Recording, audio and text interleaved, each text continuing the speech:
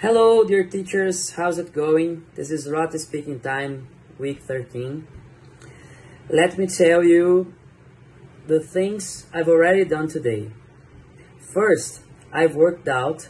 After that, I've washed some clothes and I've prepared my lunch. One thing my sister has probably done today is taking my niece to play at the park nearby her building.